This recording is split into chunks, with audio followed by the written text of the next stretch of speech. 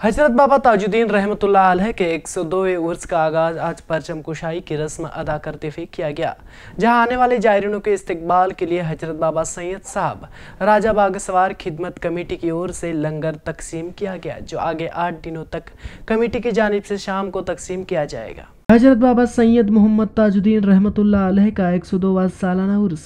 उनतीस जुलाई से 10 अगस्त तक धूमधाम से मनाया जाएगा और उसका आगाज़ आज सोमवार को सुबह नौ बजे अमीर शरीयत, मुफ्ती अब्दुल कादिर की अध्यक्षता एवं विश्व प्रख्यात मुस्लिम धर्मगुरु मौलाना मोहम्मद हाशमी मियाँ की प्रमुख उपस्थिति में परंपरागत तरीके से पंचम राजे रघुजी भोसले के हाथों परचम कुशाई द्वारा किया गया, जहाँ पंद्रह लाख से अधिक जायरीनों की शिरकत की संभावना है, जिसके चलते आने वाले जायरीनों के इस्तकबाल के लिए हज़रत बाबा सैयद साहब राजा बाग सवार कमेटी की ओर से लंगर तकसीम किया गया है, जो आगे आठ दिनों तक कमेटी की जानब से शाम को तकसीम किया जाएगा, जो आज बरोज पीर अर्थात सोमवार से दिनांक पाँच अगस्त तक आयोजित किया गया है, जिसकी शुरुआत आज से ही की गई, जहाँ मौजूद हकीकतमंदों ने लंगर का लुप्त उठाया और बाबा जान की रहमतों का धन्यवाद किया। गौरतलब है कि इस लंगर का आयोजन लंगर खाने के पीछे वाले संभाग में किया गया है। इन